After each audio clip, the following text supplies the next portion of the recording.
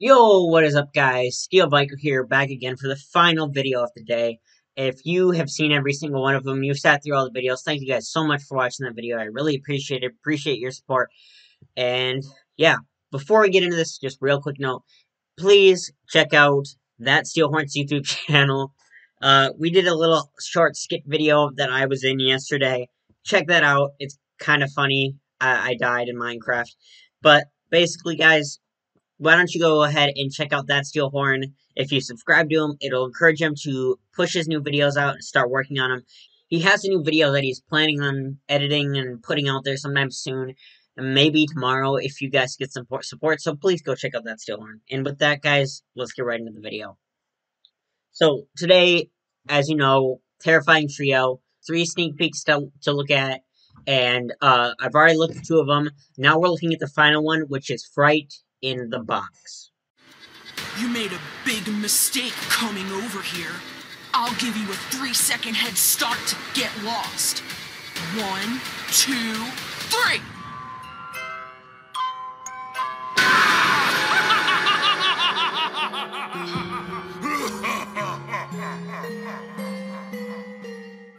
So for this sneak peek, guys, we I will go over, I will watch this video, and then I will talk about him this is the last one, guys. We're almost done here. So this one, I'm just going to say right off the bat, is probably my least favorite one of the ones they've shown.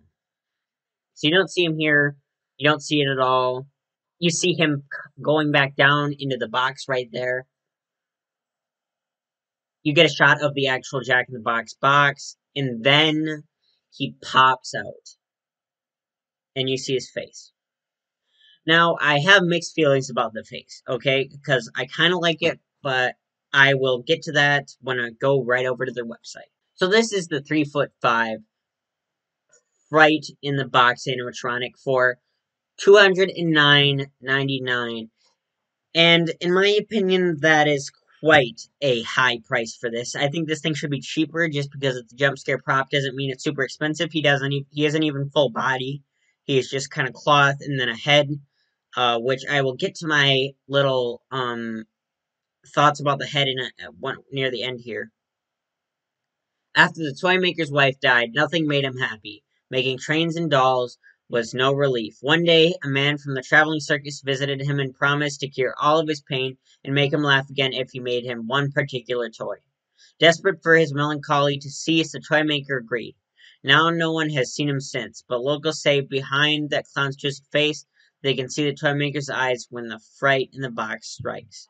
So basically, the toy maker is now this fright in the box, box clown that they made, that he made for himself.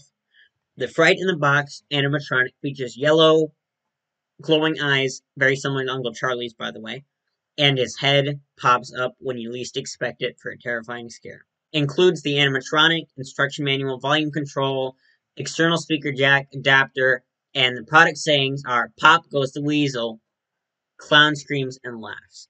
Animated, step pad compatible, try me button compatible, multi-prop remote, activator compatible, adapter type 6 volt 2 amp included, cord length 6 feet. Now, I like the idea of these Jack in the Box animatronics. I think they're cool.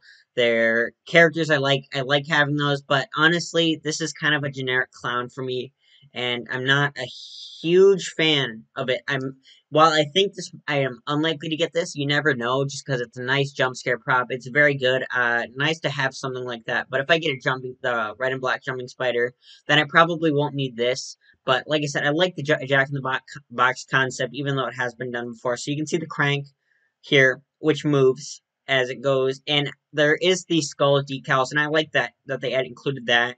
Kind of makes it look more evil and like you know something's up. And I like that they added those instead of just having this front side be kind of blank. Pretty sure this is just cardboard. Very similar to uh, Cryo Chamber Corpse or Incinerator Zombie. And um, you can see he's got this oversized, kind of comical clown ribbon, which I think is alright. It's fine. And then you see this cloth here. It's supposed to cover up the internals part of it. But it's also supposed to be where his body comes out of it. It makes it cheap way for them to just now, I like the design of his head, kind of. I think it's cool and all. It's a nice, creepy clown face, but it is kind of generic. It is a pretty generic looking clown with green hair, a little bit of Joker vibe to it, kind of got Uncle kind of has Uncle Charlie's eyes and face design, and I just think it kind of makes sense since he's just a Jack in the Box, but he is kind of generic. He also looks a bit like Pennywise to me, just a little bit. I mean, he does have wrinkles, and that's good. The paint, you know, that's cool, and his teeth are all right.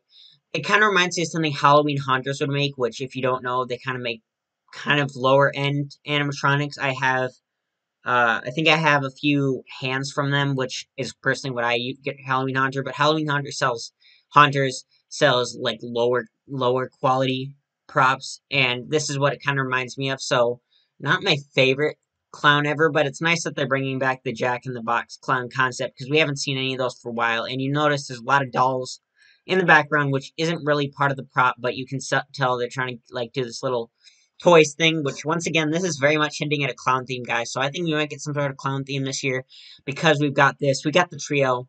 It's clowns. Like I said, this is my least favorite, but that doesn't mean I, I dislike it. See, this shot looks different. And with this lighting, it looks, you know, whatever with his face. The hair style is different here, slightly. I I like the face. It's just generic in my opinion. But it is creepy. It'll scare people uh, you know, it's going to scare people regardless if they're afraid of clowns. It just pops up, as long as it pops up quickly enough.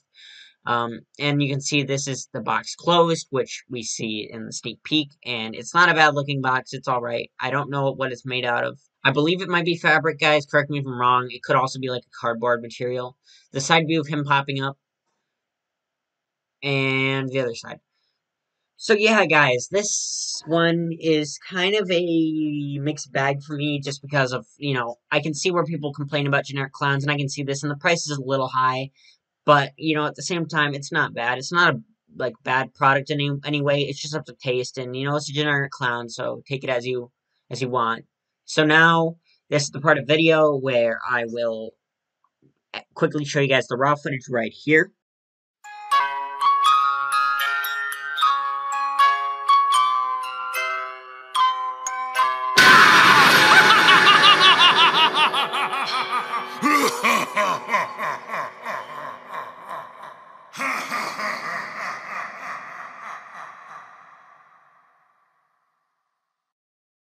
Alright guys, and now I'm going to go through, just talk about what we're seeing. This one is really, I, once again guys, if you want me to stop doing the, the thing where I talk about them and I give you my thoughts on this, I definitely can. I understand. It's There's not much to talk about here.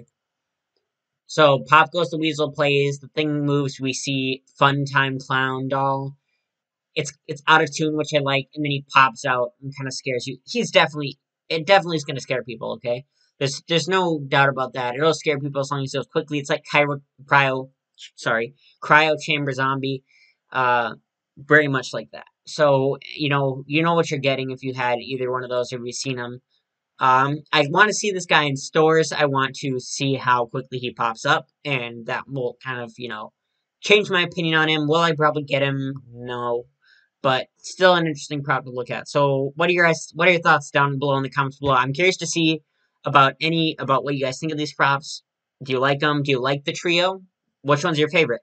Um, my favorite would have to be the um, uh, Johnny Punk, and followed by the uh, clowning around, and then this one. But that might change. What are your thoughts? But yeah, what do you guys think? What is your personal list of the trio? How would you rank each of them? Let me know in the comments down below. I like to hear from you, and I will comment back.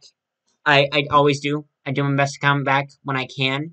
Uh, so yeah, thank you guys so much for watching, and I will see you on the next sneak peek, which I don't know will probably be tomorrow. Anyway, see you guys. Thank you for watching. Check out ThatSteelHorn. Bye.